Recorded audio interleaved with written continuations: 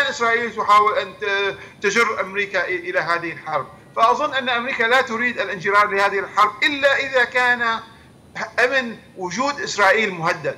فإن يعني لم نصل إلى هذه المرحلة برأيي المتواضع. إن لم نصل إلى إلى تهديد الوجود لإسرائيل ولكن إسرائيل يعني مهددة.